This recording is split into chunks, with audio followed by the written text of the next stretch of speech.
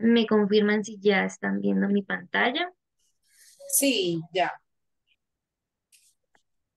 Listo, gracias. Bueno, entonces esta es la semana 3. Entonces, el contenido de esta semana eh, fue el aprendizaje de los números racionales y sus operaciones.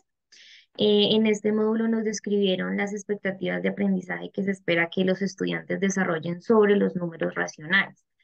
Eh, esta semana estuvo dividida en cinco partes. Primero nos presentaron las expectativas de aprendizaje de los números racionales, las etapas eh, del aprendizaje de los números racionales, luego los errores y dificultades en el aprendizaje del concepto de número racional. Luego eh, nos presentaron el aprendizaje de las operaciones aritméticas con números naturales y por último los errores y dificultades pues en el aprendizaje de las operaciones aritméticas. ¿Listo? Entonces, eh, voy a abrir el mapa conceptual de la primera sección. Listo. Daniela, yo te hago una preguntita. Yo apenas logré terminar eh, la evaluación el martes de la semana 3. ¿Todavía era válida? ¿A qué hora lo hiciste? Es que el martes no, no recuerdo a qué horas fue que mm, actualicé el documento. No, no, no es porque me, no me haya salido, pero, pero que apenas pude ingresar eh, al mediodía, tipo 2 de la tarde, ya terminé. Ah, no, antesitos. Al mediodía ya estaba listo. Pero Ah, arribita decía que era este hasta el 18. Entonces ah, no no, sé si me lo valdrán. no, eh, digamos que esas fechas solo son como tentativas como para llevar el orden de las semanas, pero Ah, recuerden que incluso pueden adelantar eh, actividades del curso anterior. Ah, ok, ok, Entonces todavía hay tiempo. Ah, ok, listo, muchas Listo, gracias. no, no hay ningún problema. ¿Listo? Bueno, entonces eh, el objetivo de esta eh, sección es describir las competencias, los objetivos de aprendizaje y las capacidades que se espera que alcancen eh, los estudiantes al momento de aprender los números eh, racionales. Entonces, para esto eh, enumeraron las expectativas de aprendizaje o los objetivos de aprendizaje que están relacionados con eh, los números naturales. Entonces, se espera que los estudiantes aprendan a usar los números racionales, es decir, que aprendan a reconocer cómo y cuándo usarlos eh, para describir, codificar información, asimismo para eh, modelizar, resolver, inventar eh, problemas en situaciones diversas de la vida cotidiana. Eh, otra expectativa de aprendizaje es que ellos deben aprender a utilizar el vocabulario propio de los números racionales. Por otra parte, eh, deben utilizar eh, diferentes representaciones, entonces los estudiantes eh, deben discernir la representación más adecuada para representar un número racional y asimismo hacer uso del sistema decimal de numeración. Por otra parte, los estudiantes deben detectar y usar las relaciones que se presentan en los números racionales eh, como por ejemplo las, eh, las representaciones equivalentes que se pueden eh, encontrar en los números racionales. Eh, recordemos que, por ejemplo, un medio es igual a tener dos cuartos, ¿cierto? Si lo representamos es exactamente lo mismo. Otra expectativa de aprendizaje es que los estudiantes deben percibir la magnitud de los números, deben tener en cuenta la relación de orden. Y la última expectativa eh, de aprendizaje es que los estudiantes deben realizar cálculos con procedimientos diferentes adaptados a situaciones y también deben eh, discernir ocasiones em, en, en cuando tienen problemas, cuando deben dar un valor exacto o tienen que dar un valor aproximado. No solo encontramos estas expectativas de aprendizaje que están relacionadas con los números eh, naturales, sino también tenemos unas expectativas específicas de los números eh, racionales. Entonces, la primera es que los estudiantes deben eh, desarrollar el razonamiento proporcional. Entonces, los estudiantes deben aprender a comparar dos razones, a establecer una relación de equivalencia entre dos razones. Eh, deben conocer la propiedad eh, de invariancia, al multiplicar ambas cantidades por el mismo factor, asimismo a captar eh, la variación constante entre cantidades y a distinguir fenómenos en los que la variación no es constante. Estas dos expectativas de aprendizaje, la del razonamiento proporcional y esta de la densidad de los números racionales, no se ven los cursos menores, sino ya se ven cursos pues más avanzados cuando uno ve proporcionalidad más o menos en grado sexto o en grado séptimo. En cuanto a esa expectativa de aprendizaje específica de la densidad de los números racionales, recordemos que nos habla de que entre dos números eh, racionales hay infinitos números racionales entre ellos dos. ¿Listo? Eh, no sé si tengan dudas de esta parte, de alguna actividad de esta sección. Me voy a volver por acá a las actividades o si puedo pasar a la siguiente.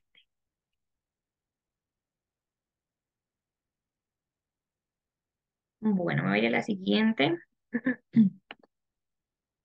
Voy a abrir también el mapa conceptual para explicarlo.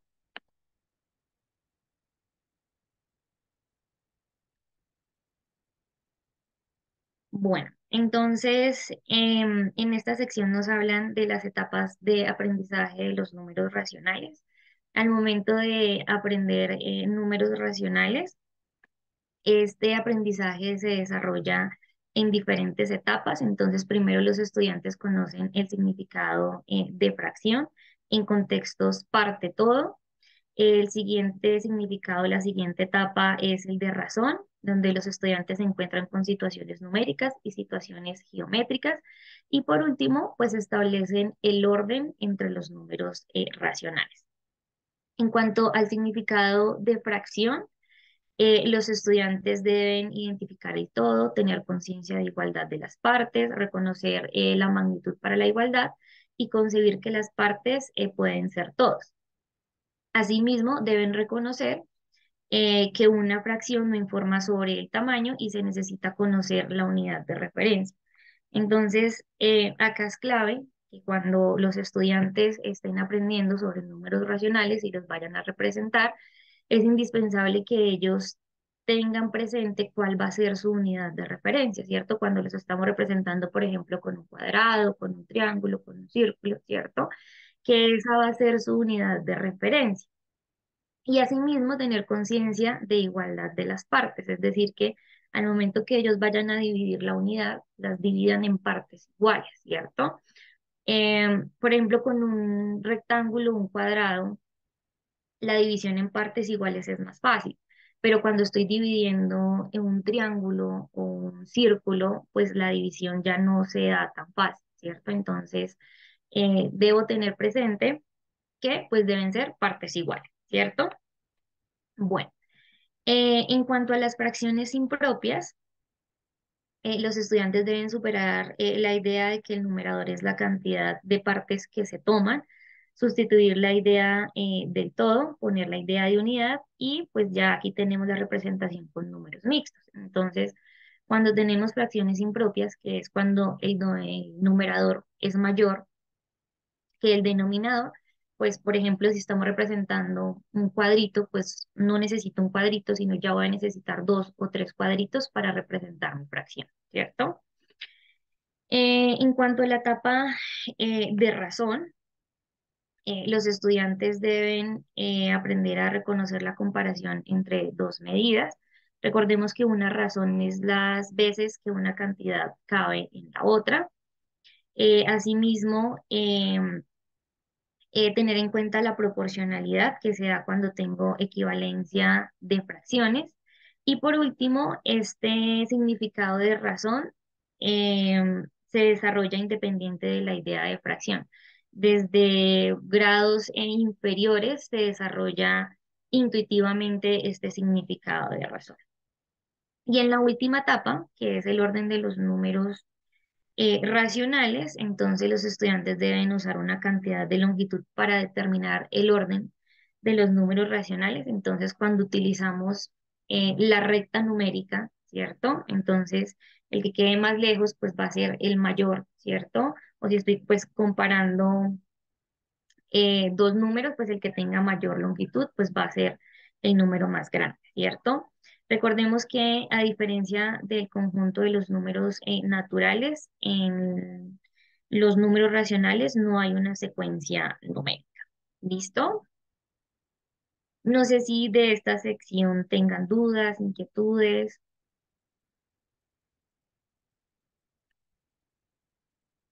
de alguna actividad en específico. Bueno, me voy a ir a la siguiente eh, sección que nos habla de los errores y dificultades en el aprendizaje del concepto de número racional. En esta sección me gustaría escucharlos y me comentaran, pues antes de explicar el, el mapa, cuáles son esas dificultades o esos errores que ustedes han podido percibir al momento de enseñar números racionales.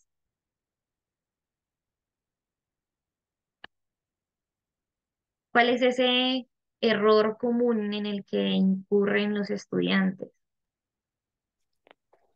No, pues el más común es cuando van a representar fracciones impropias.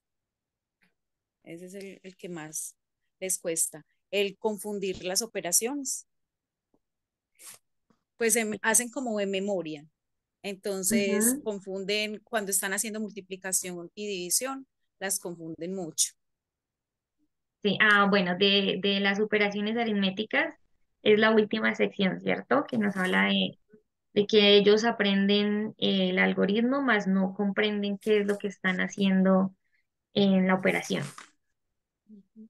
Bueno, no sé si alguien más eh, quiera eh, participar. Les cuesta mucho fraccionar o cuando se está trabajando con con en las partes en representación en forma discreta, les cuesta mucho identificarlos. Sí. Bueno, entonces, bueno, cuando nosotros eh, enseñamos eh, los números racionales, eh, los que ya tenemos pues experiencia, nos damos cuenta que pues, los chicos incurren en, en diferentes errores. Entonces, agruparon eh, las dificultades en tres categorías. Entonces tenemos dificultades relacionadas con fracciones en contextos parte todo, en el orden en las fracciones y en la noción eh, de razón. En cuanto a la categoría de fracciones en contexto parte todo, entonces eh, los errores en los que pueden incurrir los estudiantes dependen del modelo que utilicen, ¿cierto? Recordemos que para representar una fracción eh, podemos utilizar un modelo de área, podemos utilizar un modelo de recta numérica o un modelo discreto. El modelo de área es cuando utilizamos una figura geométrica, ¿cierto? Un triángulo, un cuadrado. El de la recta numérica, pues utilizamos la recta numérica y un modelo discreto es cuando lo hacemos pictóricamente, ¿cierto? Cuando utilizamos eh, bolitas, corazoncitos o estrellitas, ¿cierto? Lo hacemos con, por medio de dibujos. Entonces, en cuanto al modelo eh, de área, pues un error eh, muy frecuente es cuando ellos van a dividir en partes iguales, ¿cierto? Entonces no tienen conciencia de dividir esa figura en partes iguales. En cuanto al modelo de la eh, recta numérica, entonces tienen dificultades para elegir la unidad. En cuanto al modelo discreto, eh, pues tienen dificultades al distinguir el todo y las partes, que es lo que pues nos habla eh, Sandra, ¿cierto? por ejemplo, si voy a representar tres cuartos, entonces hago cuatro estrellitas y pinto tres, ¿cierto? Eh, y pues tienen dificultades, eh, mayor dificultad en representar las fracciones impropias, pues porque necesitan de una unidad más o de un triangulito, dependiendo de lo que estén utilizando, eh, pues para representar esa fracción impropia. en cuanto a la categoría de racional como razón, recordemos que una razón la podemos ver como una comparación multiplicativa y pues son errores eh, que lo ven compatible con el pensamiento eh, aditivo. Y en cuanto al orden, eh, pues no perciben la densidad de los números racionales. Como les dije anteriormente, la densidad nos habla de que entre dos números racionales hay infinitos números racionales. No coinciden la equivalencia de fracciones. Dos fracciones me pueden representar exactamente lo mismo. Y eh, al comparar fracciones, trasladan el orden de los numeradores y de los denominadores. Entonces, esos son los errores más frecuentes en los que pueden eh, incurrir los estudiantes al momento de aprender el concepto de número racional. No sé si tengan preguntas, dudas, inquietudes de esta sección.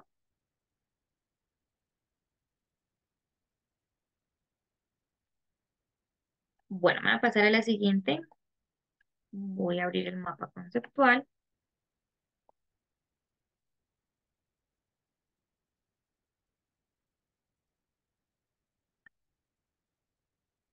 Listo. Entonces, en el aprendizaje de las operaciones aritméticas de los números eh, racionales en cuanto a la estructura aditiva, es decir, eh, a las operaciones de adición y sustracción, algunos significados son similares a los naturales. Entonces, hay acciones iguales de los números naturales, que también los utilizo aquí en los números racionales, como por ejemplo la acción de reunir, me está representando eh, la adición, ¿cierto? Y pues me están pidiendo es expresar el resultado, pues al reunir dos, eh, dos números, ¿cierto? Y en la sustracción, pues encuentro la acción de separar y pues lo que el resultado que debo dar es ver qué me queda. Eh, recordemos que cuando vamos a sumar o a restar eh, fracciones con denominador común, el algoritmo es diferente, ¿cierto? Entonces, cuando hay un denominador común, se requiere que las dos fracciones se refieran a la misma unidad, eh, trocear la unidad en la misma cantidad de partes y emplear la equivalencia de fracciones. En cuanto a la estructura multiplicativa, los algoritmos de la multiplicación y de la división son de fácil aplicación, pero de difícil comprensión, que era también lo que nos estaba eh, diciendo Sandra. Entonces, el algoritmo es fácil, ¿cierto? Porque en la multiplicación lo que hacemos es multiplicar numerador por numerador, denominador por denominador, ¿cierto? Y pues en la división lo que hacemos pues es una multiplicación cruzada, pero no tenemos eh, la conciencia de qué es lo que está pasando. Entonces, la eh, comprensión de esa multiplicación entre fracciones, pues es difícil, ¿cierto? Entonces, por eso en el video nos recomendaban o nos recalcaban que era necesario utilizar otro tipo de modelos, como por ejemplo el modelo de área, para eh, interpretar qué es lo que está pasando en la multiplicación y pues en la división.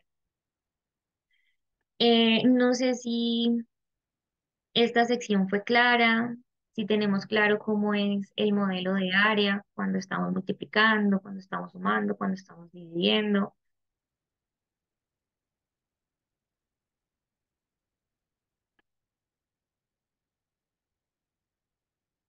Bueno. Entonces voy a pasar a la siguiente sección que nos habla de los errores y dificultades en el aprendizaje de las operaciones aritméticas con números racionales.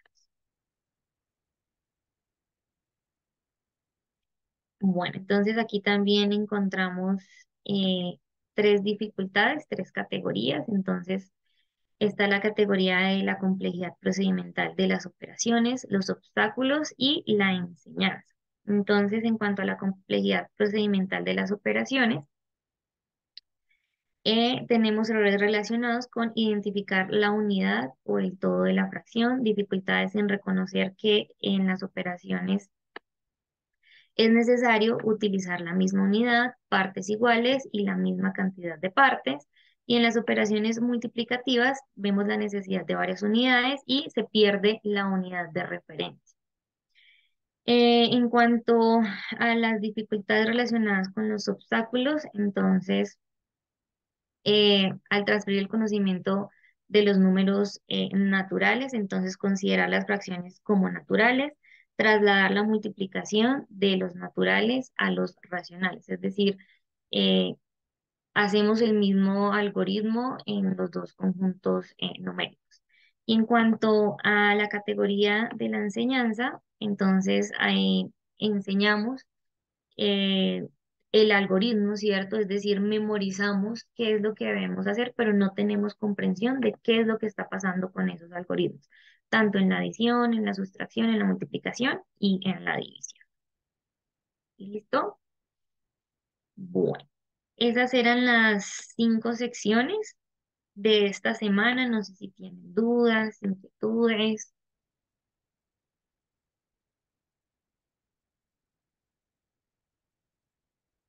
Bueno, entonces voy a dejar de compartir.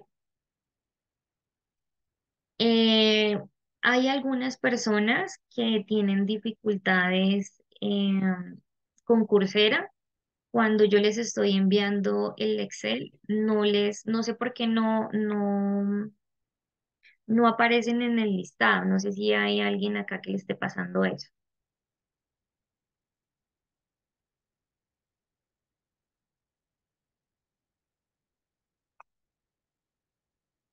Zoraida. Bueno, Zoraida, la recomendación que, que nos envían es que para que ustedes aparezcan en el Excel, deben aceptar la invitación que les enviaron al WhatsApp. De lo contrario, no van a aparecer en el Excel. Entonces, busquen en el grupo de WhatsApp. eh, si quieren, yo ahorita les vuelvo a enviar ese enlace y aceptan la invitación. Si no aceptan la invitación de, de WhatsApp, no, no van a aparecer registrados en el Excel.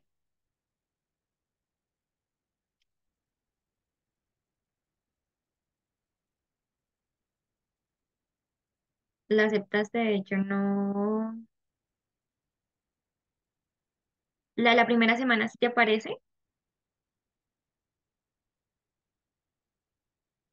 Bueno, tendría que revisar cuando hiciste lo de la segunda semana.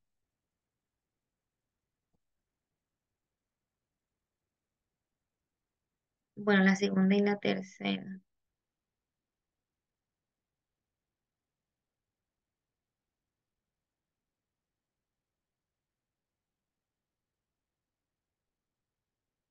Ok. Bueno, entonces, de pronto es por lo que no has podido hacer las, las otras actividades, entonces pues voy a, a remitir tu caso a ver qué, pues, qué es lo que está pasando. ¿Listo? Y pues si hay, saben de personas que no aparecen en el Excel, la recomendación es que deben aceptar eh, la invitación que se les envió al grupo de WhatsApp. ¿Listo? Listo, sí señora, vale. Vale, Soraya. Bueno, entonces eh, podemos dejar hasta ahí. Nos vemos eh, la próxima semana a la misma hora y pues el mismo día. ¿Listo? Que tengan una buena tarde y un